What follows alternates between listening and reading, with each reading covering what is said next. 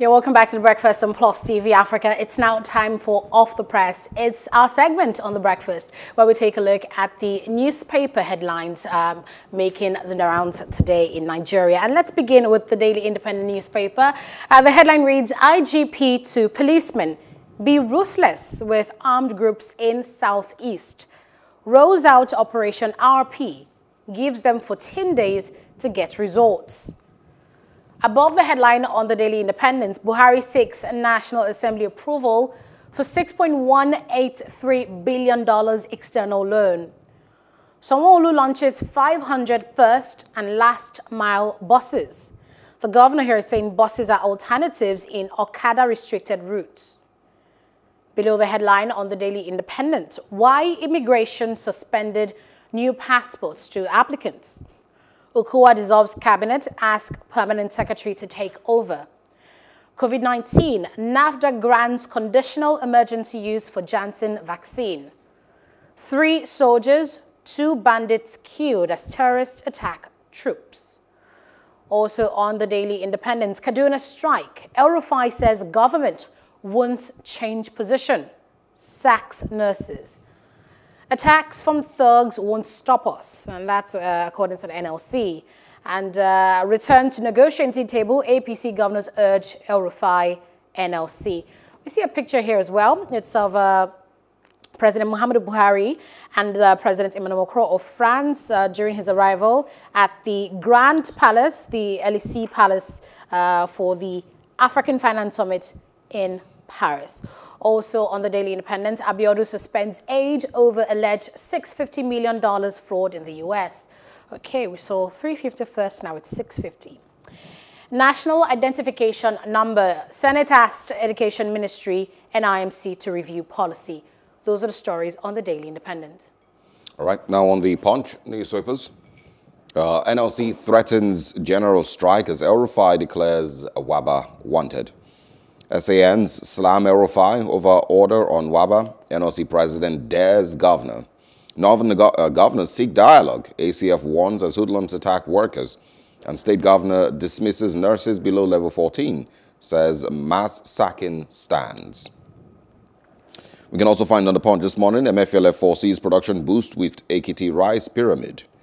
And explosion in ex-governor Daniel's hotel kills two in Ogun State. Police Oshun uh, youth protest as um, EFCC arrest 34 suspected internet fraudsters. Good thing we spoke about uh, a little bit about that this morning. Mm -hmm. Also this morning, uh, uh guard um, assault CCT chair absent as panel, uh, absent at panel rather, cites poor health. NIS threatens sanctions against officials over passport crisis and suspended Abiodun's aide faces 30 years in prison over $350,000 fraud. We can also find here National Assembly uh, probes alleged customs Salade killings in Oyo State. And NACA grounds aero aircraft over Rivers bird strike. 10 billion naira fraud, EFCC probes Afegbua's allegations, summons PDP chiefs. And I think I'll just squeeze in one or two others. Um, LCCI, ACCI, and others raise concerns as Buhari seeks nod for fresh $6.1 billion loan. Take note of negative side of excessive borrowing, says ACCI. Now borrowing is for, is for capital projects, says uh, the DMO. Those are the stories we'll take on the punch this morning. On the Nation newspaper, why petrol subsidy will be removed now by minister. Labour warns against plan. LCCI says we need innovative policy on petroleum. Above the headline on the Nation newspaper, France pledges full support for insecurity battle. Buhari says restructure our debt. El fires nurses on solidarity strike and labor leaders wanted. President seeks lawmakers nod to take $6.18 billion loan. Bandits kill three soldiers, abduct two Chinese. Also above the Nation newspaper, federal government suspends passports application. Abiodun suspends aide held for fraud. We see a picture here of uh, buses lined up, you know, and packed, and the caption reads, 300 buses to kick off Lagos Inner Routes scheme. Below the headline on the Nation newspaper, IG orders policemen to be ruthless with cessation agitators and special operation inaugurated. Also, President hails new era at Capital Market. Two die, three injured in Ogun explosion. Those are the stories on the Nation newspaper. And now to the Guardian newspapers. Uh, fossil fuels uh, divestment may halt $150 billion oil gas projects. Federal government confirms receipt of 4.2 million pounds Ibori loot and Delta State reacts. Also, Buhari seeks fresh 2.3 trillion naira loan to fund 2021 budget. Senate wants NIN dropped as requirement for exams. And uh, also this morning, I'm waiting for your arrest, Wabba Des El Rufai. Federal government uh, wades into NLC Kaduna face-off. Uh, Governor sacks Kaduna University lecturers and nurses. TUC and NUPENG put members on red alert for national shutdown. And also, electricity workers consider shutting down power installations nationwide. Um, well, I think uh, we have, um, that's uh, most of what we're going to be taking on The Guardian this morning. And uh, we're getting straight into the uh, conversations. Uh, most of uh, the uh, papers already speaking about the NLC strike mm -hmm. um, in Kaduna State and also the loan request by President Muhammadu yes. Buhari, another 2.3 or 2.4 trillion naira loan to fund uh, 2021 budget. And multiple times we've spoken about, um, you know, um, the dangers of borrowing, and of course, uh, where we are financially with um, in Nigeria. Let's bring in uh, senior news current um, uh, senior news editor, I beg your pardon, Kayode Ladiende, to join us this morning on uh, Off the Press. Good morning. Thanks for joining us, sir. Good morning. Yeah, good morning, Osage. Good morning, Aneta. Thanks for joining good us. Good to have you. Very interesting stories this Wednesday morning. Um, which of them would you like to start from? uh, of course, the biggest story is still the drama.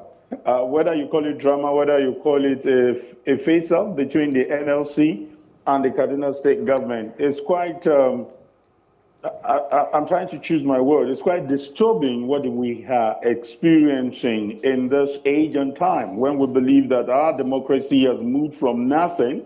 I remember that was the word we always used when we started in 1999 and when we returned to democracy.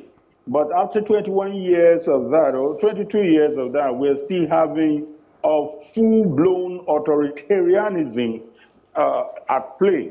However, I've, as a journalist, we've tried to listen to all sides, not just two sides.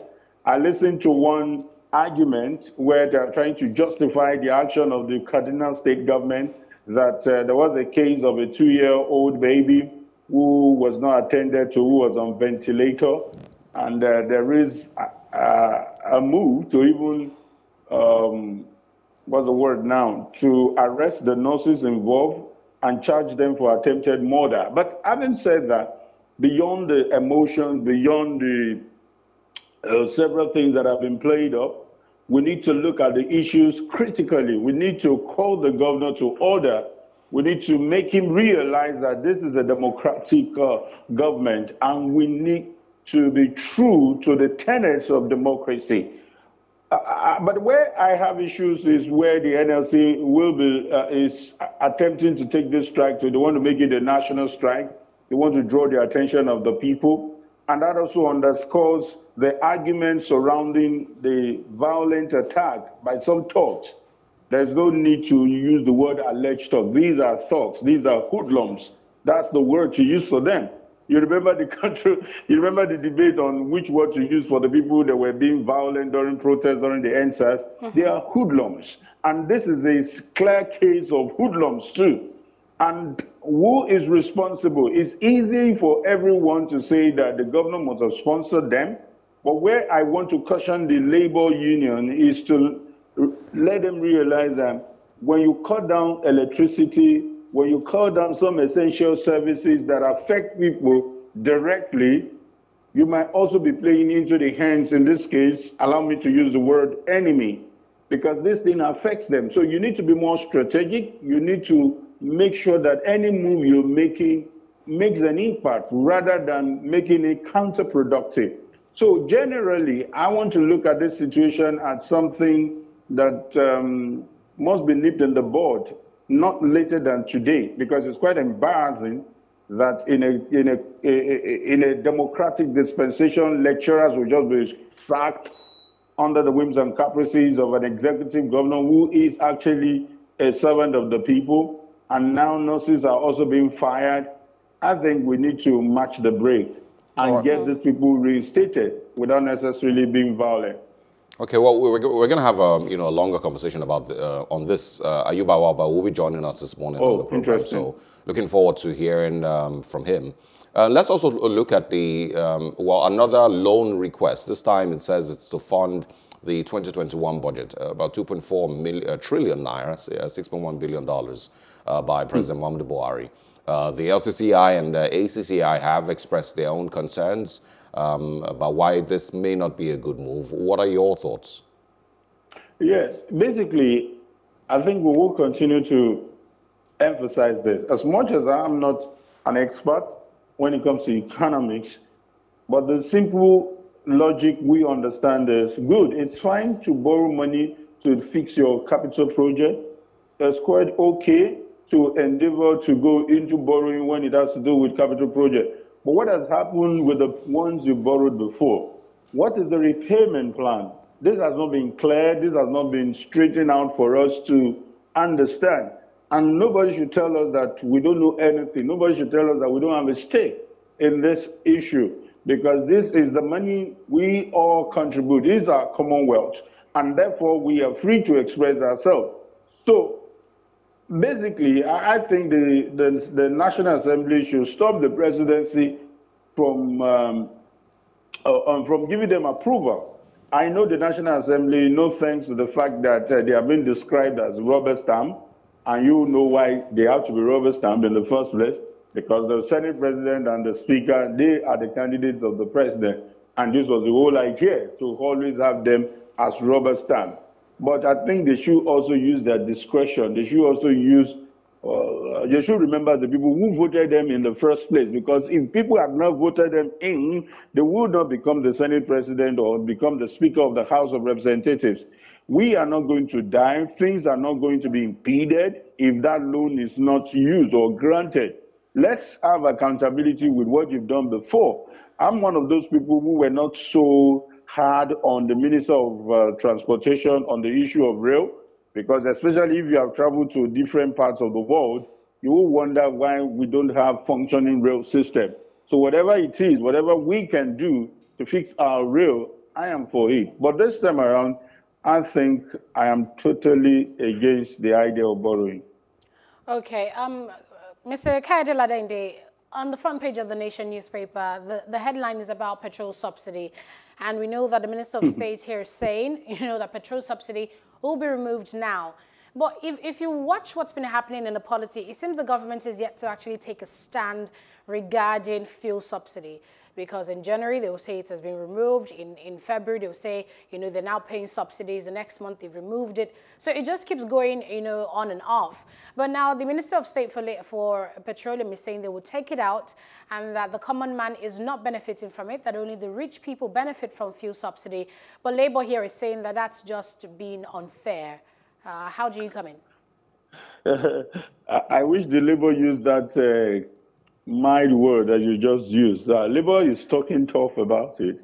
But you know what, Aneta? One thing we will not do is to keep quiet about the lies, underline that word, the lies around this issue of subsidy.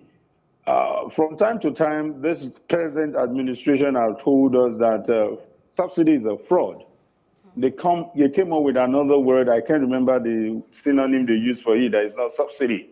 Now they have the effrontery to tell us now that subsidy is about to be removed. So what has been happening? What has been happening to the budget year in, year out?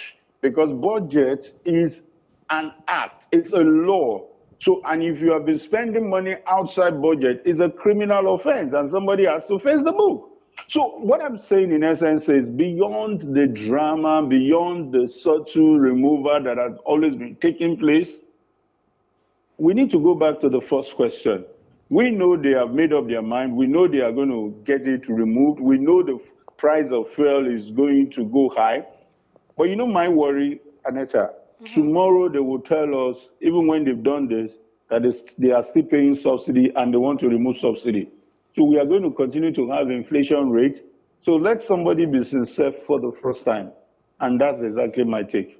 Okay. So uh, moving away from fuel subsidy, you know, in the light of all the unrest and violence, especially attacks on policemen, you know, checkpoints in the South, South and Southeast. We see that the Acting Inspector General of Police, Mr. Usman Alkali, has, you know, inaugurated a special operation and asked policemen to be tough on secessionist agitators. I don't know what you think about this one. No, mostly Another form of euphemism you've also used. The word I saw where you're reading it is they should be ruthless. Yes. And ruthless is stronger than tough. If it is tough, that would have not um, um, draw some kind of anger we will get on this story. You know, the idea is whatever word you use, armed, armed, armed youth or armed old men, whatever they are, you're not supposed to be mild with them. You're not supposed to take it easy with them. But where the concern is, is why do we have to regionalize this kind of tough decision or tough action? So this is a language we should be using for any armed youth. As we speak, I'm sure it was on this station too that we read out that report that the number of arms with people who are not licensed are more than that of the uniformed men, the military, I mean, I mean, the security agents across the country. That's what we should be looking at why are we going into the reactionary approach when we should look at the proactive? What happens to our borders? How did these guns get into the hands of these people? Are we pretending that we don't know that these issues, these weapons are not easy to buy? Are we pretending that there are some heavyweights who are behind the purchase of these weapons? Are we pretending that the helicopter that was uh, uh, uh, uh that was found to be carrying weapons that some people don't know about how the helicopter moved, where it was, who bought the helicopter, and who is using this. I think we are not going to be deceived by the surface of these stories. Let's get down to the real issue, and then we will take government serious. So whether southeast, whether south south, whether north west, whether northeast, mm. definitely the security agents should be ruthless to anyone carrying arms because innocent citizens are not safe. All right, so still on, on security matters, uh, would you, you know, suggest international collaboration regarding tackling this issue? Because we know that one of the headlines we've seen is a pledge by the government of France, the President Emmanuel Macron, saying they will stand by Nigeria to eliminate any, you know, insecurity uh, and, and uh, threats in the country. Aneta, I can just imagine you being the media aide to the president. This is the first thing that you can write without these two presidents having meeting. You cannot be having a meeting with a world power and not talk about how to tackle the issue of insurgency in your country. For me, there's nothing exciting, there's nothing newsy, so to say, about it. What we want to see is let's see the action. Let's see mm. this international collaboration. You remember the upbeat when we when the Chibok girls were arrested and we heard that U.S. government was coming in with their drones, they were coming into the country, they were going to get the girls, and there was so much excitement. And for whatever reasons, we understand there was some diplomatic uh, compromise, and uh, within till today, some of these girls are still with the abductors. So please, they should save us that stress. Let let French government come in let them come with their weapons. Let them come with their uh, uh, mercenaries and get this insurgency sorted out. Well, um, there's also a story on the um, Nation, I believe, uh, speaking about the Ibori loots, the receipt of the 4.2 million pounds Ibori loots. Delta State government, um, of course, is kicking. Uh, we remember we had a conversation about who that money really belongs to, if it's the federal government or the Delta State government. Uh, so quickly react to that one also. The money has arrived. Um, should we celebrate? I, I, I, can't help but laugh about this because I know it's a serious issue and it's quite sensitive too. But trust me, I think Delta State government needs to be more serious on this issue.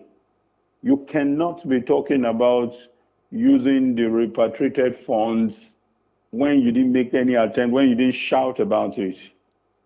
Now that the money has been returned for whatever reason, and they're going to use it outside your region, and now you want to fight. But, there, but the there's money. that argument that it, you know Delta State government itself cannot approach France. You know, some people have said that that it has to be the federal government that approaches uh, the government of uh, France. Um, or sorry, the UK. Um, UK. Yeah, for you know money to, like that to be repatriated. Um, So and at the same time, the people of Delta State, you know, can still argue that it, it's their money. The money was taken from their coffers, from their state, and so it should be used Also, my take is why why was the Attorney General of Delta State not working with the Minister of uh, uh, Justice all the while? Why were they not pursuing the case? Why were they not following up? I'm just saying that while it is legitimate that that money was stolen from their state funds, I think that one is not in doubt that the money was stolen because the man admitted that they stole money. So why, why, why were they quiet? Why are we looking at it that is our son? And don't forget that this man is still like the most powerful politician in the state.